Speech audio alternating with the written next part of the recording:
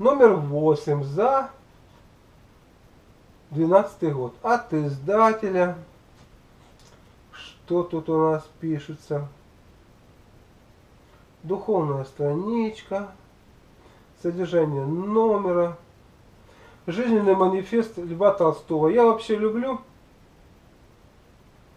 э, приводить э, цитаты э, такие интересных людей, э, которые чего-то добились своей в жизни, э, которые на основании своего опыта рассказывают кратенько о том или ином в виде цитаты. Очень хорошая вещь, вот эти вот э, читать высказывания великих людей, сопоставлять своей жизнью и делать соответствующие выводы. И в результате, в результате вот такой работы человек меняется. Это уже есть не что иное, как духовный рост. Очень хорошая вещь, скажу вам. Я этим постоянно занимаюсь. Приметы и особенности сентября. Эта газета еще делалась на месяц вперед. То есть восьмой номер шел на, на девятый. Лето. Вот поговорим об облепихе. Что такое облепиха? О ее свойствах, как ее лучше применять. Облепиховое масло. Дальше идет у нас диабет. Наконец-таки последний раздел практика лечения диабетом. Вот.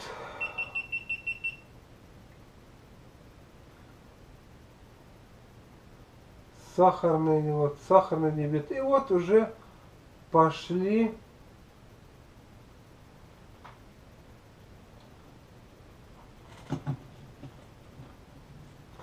И вот уже пошли э, примеры, как люди лечили сахарный диабет, с чем они столкнулись, как это все преодолели, что они делали. Все это описано, все это описано. Письмо одно, письмо второе, письмо третье. То есть идет письмо одно, письмо второе, письмо третье. Переписываемся с человеком, что у него, как, как идет значит, процесс э, э, избавления от этого. Письмо четвертое. Лечение диабета по Авиценне, заключение. Наконец-таки, вот только статья о сахарном диабете была закончена. Опыт оздоровления. Вот они, вены, видите, вот это вот клапана, которые у нас работают. Вены начинают терять свою форму и вздуваются вот такими вот некрасивыми, некрасивыми выбуханиями. Вот здесь как работает голень, как работает кровяной насос. Понимаете, вот когда стенки вен у нас нормальные. А вот этот кровяной насос женщины все регулярно портят тем, что носят высокие каблуки. В результате вот этот механизм, когда клапана сюда открываются, а сюда закрываются, он перестает работать, и кровь застаивается, и пошло, пошла усталость стенок вен, за которой уже следует дальше расширение, выбухание. А, важно еще понимать, рисунок я сделал из большой медицинской энциклопедии, что в зависимости от того,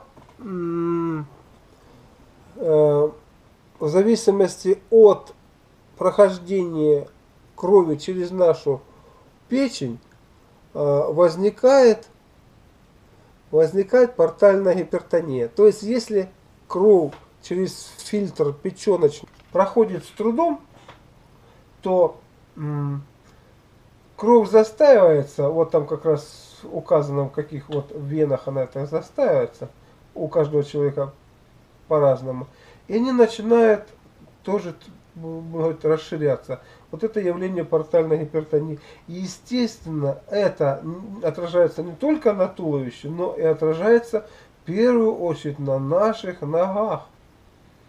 И как только мы с вами нормализуем общую циркуляцию крови за счет того, что очищаем печень, оздоравливаем ее, создаем нормальные условия для протока крови, для желчеотделения, вот кровь уже не застаивается в этих венах, не образует давление, а, не действует, знаете, на а, стенки вен, и они начинают отдыхать, они начинают, естественно, значит, приходить в норму, потому что наша организм система самовосстанавливающаяся, и расширение вен, естественно, пропадает.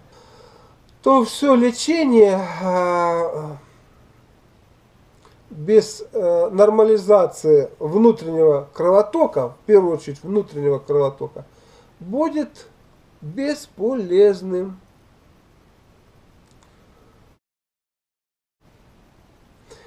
Тут рассказываю о глине, какие глины бывают. То есть лечение глиной, если обратиться к лечению глины, то глину можно считать первым лекарством, которое дала нам сама природа, сама матушка Земля.